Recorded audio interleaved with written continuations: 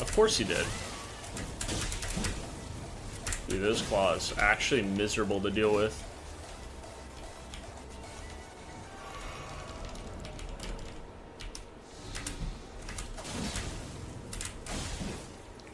I mean, if he uses them as intended, they're not so bad.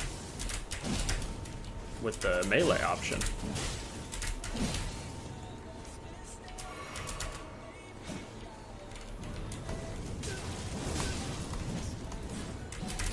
No way he dodges all that. XM? Ooh. Oh, all of a sudden, all of a sudden, man's losing some. Oh, that was a good play though. Shit, I gotta be careful. That was a good play.